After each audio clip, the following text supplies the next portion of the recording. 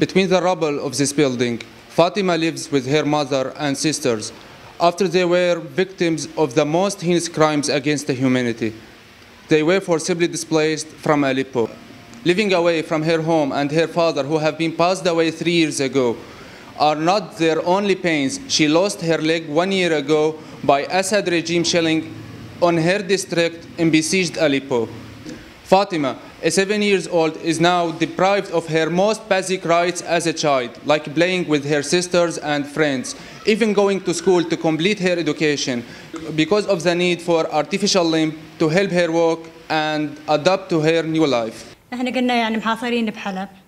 When we were trapped in Aleppo, an artillery shell landed on our house, causing an injury to my eldest daughter, and my other daughter Fatima lost her leg. We saw blood everywhere. Fatima was sitting in one side of the house, and her leg was on the other side. We rushed them both to the hospital, and they took Fatima to the emergency room to stitch her leg. We went back to our house, but it was completely destroyed. The neighbors gave us a house to settle in, and we stayed in Aleppo for a little while. During the time, we were besieged in Aleppo, and the bombardment intensified until we were displaced.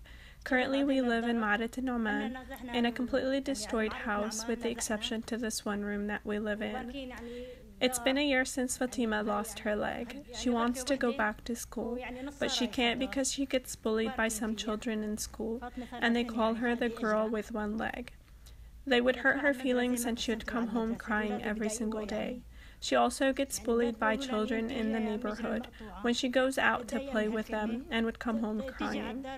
I would ask her, Why are you crying? And she would tell me that the kids are calling her the girl with one leg and would start crying again.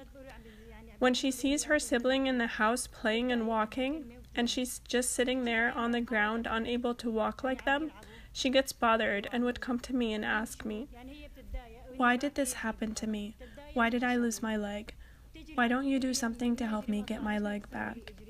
And I would always tell her to be patient. God willing, we will find a solution to help her walk normal again.